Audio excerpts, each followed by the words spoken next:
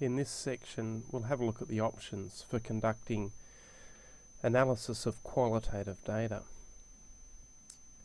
Uh, now I suggest you go back to the lecture about qualitative research and qualitative data analysis. However, by way of brief summary, uh, I've suggested two options for approaching your qualitative data.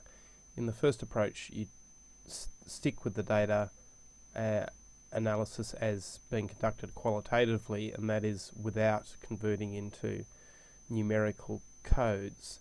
And in this way, we're just going to look at the words, their meaning, the underlying themes, and construct a conceptual model of those uh, themes.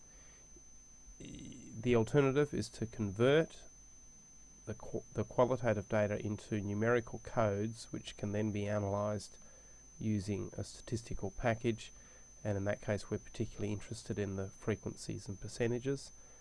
However, when you're dealing with questions which allow for multiple responses, then the appropriate approach is to conduct multiple response analysis, which we'll demonstrate in this uh, screencast. So just to expand a little, if you're taking the purely qualitative approach, also known as a thematic analysis approach, uh, immerse yourself in the data, that is, read very carefully over each of the responses uh, and do that on at least a few occasions. Emerging from that reading, you'll probably start to find underlying themes or factors or, or clusters of meaning. And you can then write about those, summarize those uh, in as much detail as possible, and it may be helpful to visualize your understanding of the um, of the qualitative data in a conceptual diagram that shows the themes and their interrelationships. Whether you do or don't visualize, make sure you provide a thick description, uh, which is a detailed description involving quotes and examples and um, information about the conceptual categories.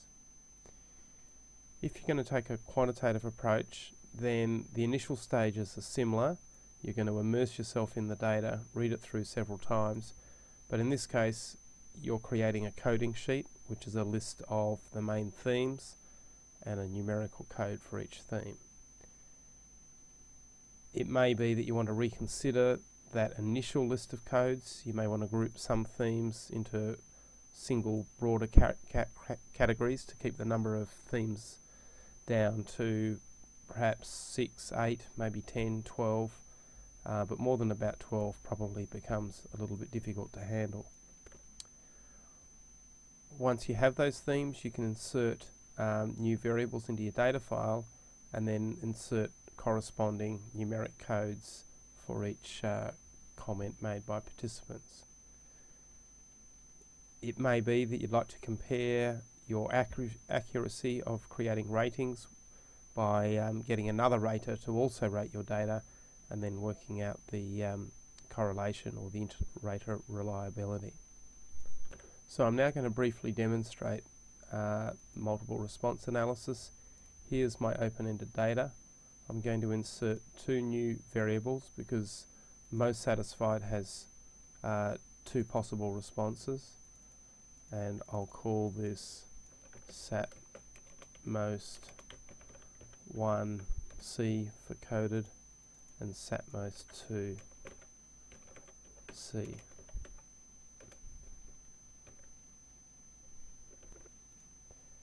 Then what we do is go to analyze.